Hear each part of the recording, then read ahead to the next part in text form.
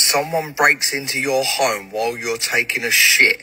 Do you wipe first? Yes or no? As a self defense instructor, this is why I've always suggested that you wipe in the ball form instead of folding because you're gonna wipe first, but then you're gonna launch, aiming for the nose area. Studies have shown that fecal projectiles can be as effective in self defense as pepper spray especially if you've eaten something spicy recently. Sensei Senseless, professional self defense instructor.